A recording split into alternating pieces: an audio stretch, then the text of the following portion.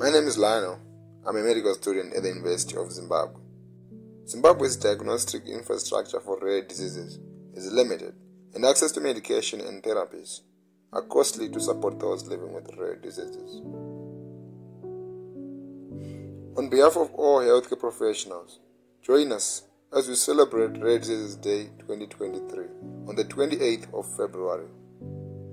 Hashtag We Love Rare.